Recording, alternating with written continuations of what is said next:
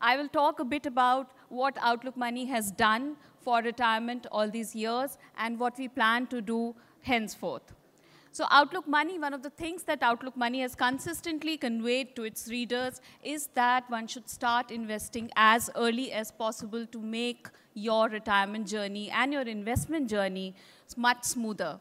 But at the same time, we have also been saying that it's never too late to start.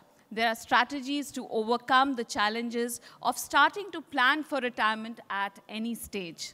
But if you are 40 already, know that the clock is ticking and you need to start now. So this unique uh, expo aims to redefine concepts, bridge the knowledge gaps and set the stage for discussion on all the aspects of retirement planning.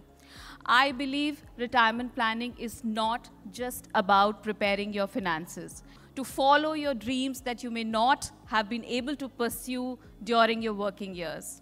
For those thinking they have missed the bus, I have another line from a nazm by Faiz Ahmad Faiz "Nahi निगाह में manzil to arzu hi सही nahi visal masher to arzu hi सही it roughly translates that if you're not uh, thinking that you'll reach the destination, at least desire it. And once you start desiring it, I'm sure you will reach that destination.